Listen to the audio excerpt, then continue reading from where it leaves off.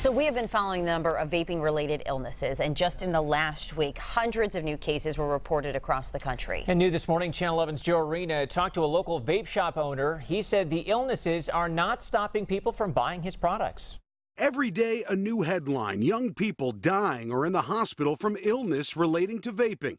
States are issuing outright bans on Juuls. Even in Pennsylvania, there are calls to increase the age limit for who can purchase these products. But that's not stopping people in our area from buying them. You know, we're here to help people get off cigarettes, not kill people. Jimmy Anchor owns Wicked Vapor in Verona. He says most of his customers are 30 and over. In his opinion, the younger crowd, the users getting sick, aren't buying vape products in stores. Black market products. But it's not the actual act of vaping that's causing kids to get sick, Jimmy says. It's where kids are getting these devices and what's in them that's the problem.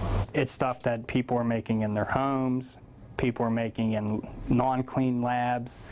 Um, just anything illegal. The CDC put out a warning this month urging vapors to stop using vaporizers, cartridges, and liquids sold on the street.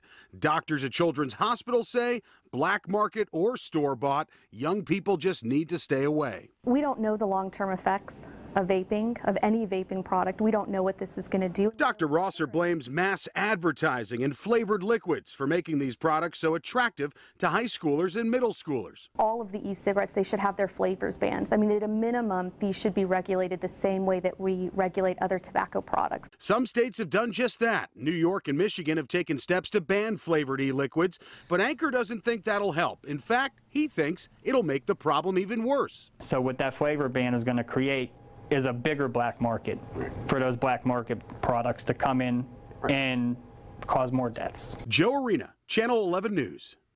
E-cigarette manufacturer Juul suspended all print, digital, and media advertising earlier this week, and its CEO stepped down.